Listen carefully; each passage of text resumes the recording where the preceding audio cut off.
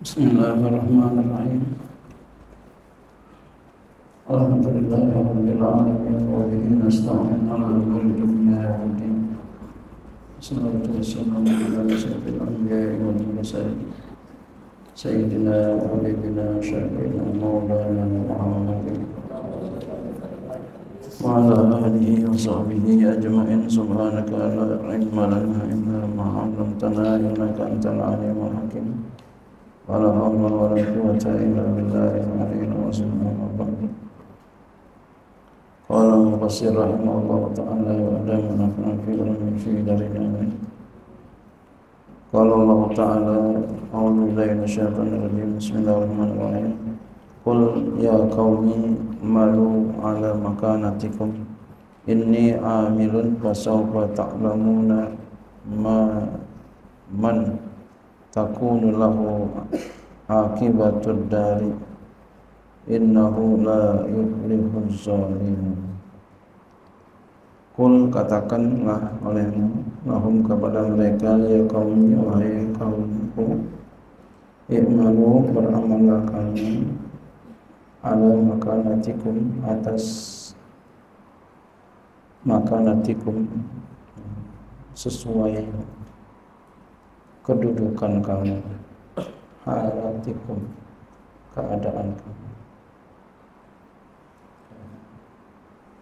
Begitu pula kita kalau berbuat hendaknya sesuai dengan kapasitas kita. Apa yang kita bisa kita kerjakan.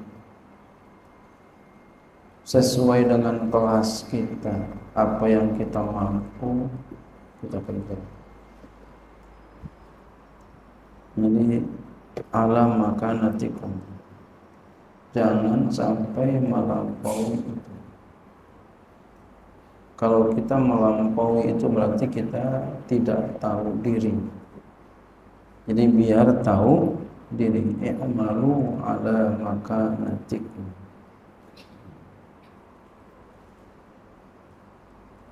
inni amilun Sesungguhnya aku beramal Aku berbuat ala halati atas keadaan.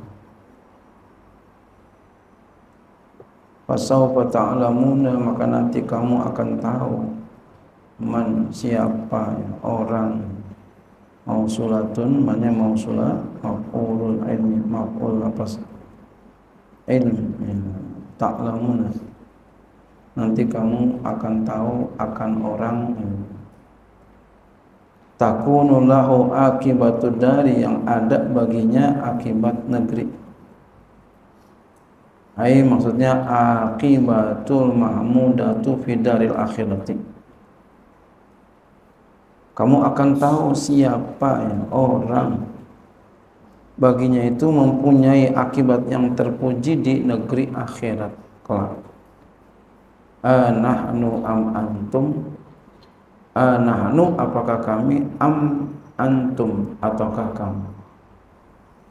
Nanti yang mendapati akibat yang baik saya atau kamu. Maka oleh karena itu biar nanti akibatnya baik berbuatlah kita sesuai dengan kapasitas kita. Sesuai dengan kedudukan kita sebagai apa kita sesuai dengan kepantasan kita biar tahu diri.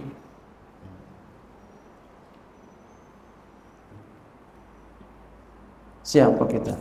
Nah, berbuat apa yang pantas buat kita?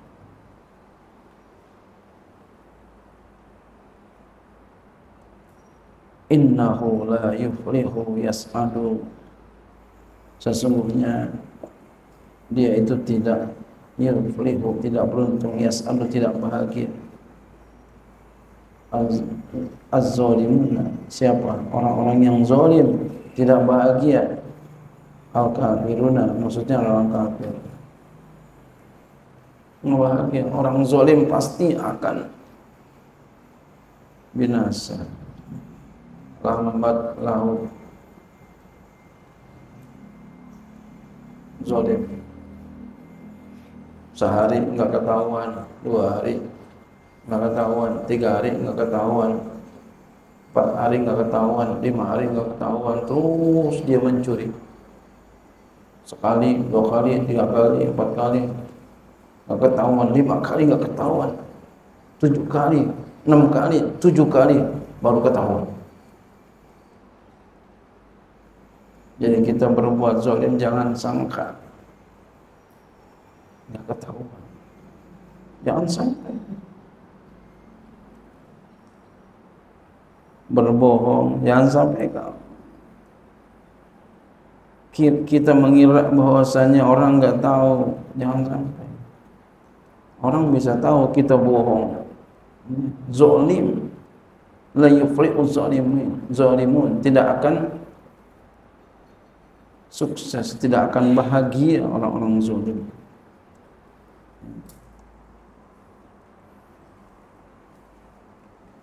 Jadi berbuatlah sesuai dengan kedudukan kita. Kedudukan kita sebagai murid, maka berbuatlah selayaknya seorang murid. Bagaimana sepantasnya seorang murid harus bagaimana? Banyak belajar, husnuzon kepada guru. Jangan buang-buang waktu, jangan main, jangan bermain-main waktunya belajar. Nah itu. Termasuk i'malu ala makanatikum. Wa ja'alu lillahi mimma zara'a minal harsi wal an'ami nasiban. Faqalu hadza lillahi bi za'mihim wa hadza li syurakaina fama kana li syurakaihim fala yasilu ila Allah wa ma kana lillahi fa huwa yasilu ila syurakaihim sa'a ma yahkumun waja'alu dan mereka menjadikan siapa mereka ay kufaru Makkah orang-orang kafir Mekah lillahi bagi Allah ma zara'a daripada apa yang ia zara'a khalaqa ia ciptakan. Minal harsi az-zar'i daripada harsi zar'i. Tanaman mereka menjadikan ya bagi Allah untuk Allah daripada apa yang mereka tanam. Wal an'ami dan binatang ternak nasiban akan satu bagian. Yasrifunahu yang mereka berikan akan dia. Mereka alokasikan ya mereka berikan itu ila difan kepada tamu-tamu. Ya. mereka punya tanaman disediain buat tamu. Makanan disediain buat tamu. Ya. Dia punya kue disediain tamu wal masakin dan orang-orang miskin. Wali syurakaim nasiban dan bagi syarikat mereka ada bagian yasrifunahu yang mereka berikan akannya ila sad, sadanatiha ya. kepada juru kuncinya wa maka mereka berkata hadza lillahi bizamihim ini adalah untuk Allah dengan sangkaan mereka bil fathi wa dengan fathah dan dhamma. Wa hadza li ini li syurakaina dan ini untuk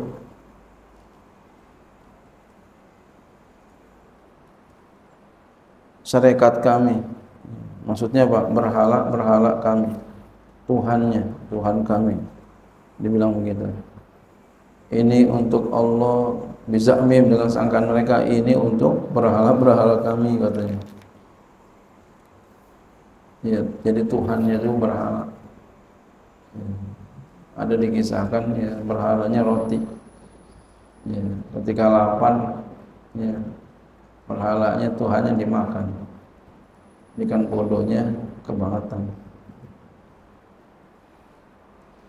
Fakanu maka adalah mereka iza saqata fi nasibillahi syai'un min nasibiha. Iltaqatuhu.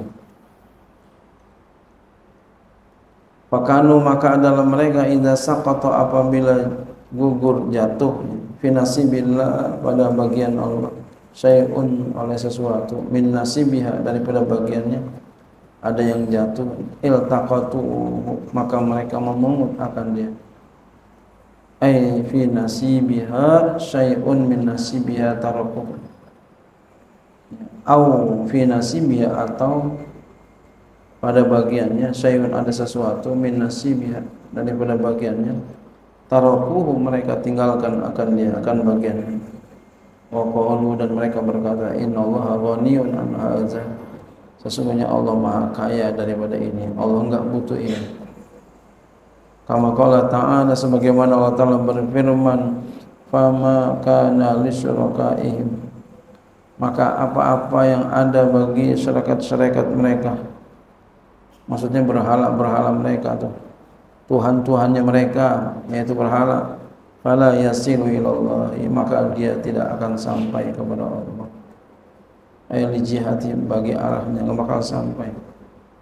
Berhala jadi dijadiin berhala sebagai sesembahannya. Bakal sampai. Wa ma kana Allah wa huwa yasilu ila syurakaihim sa'a. Dan apa-apa yang ada bagi Allah maka dia itu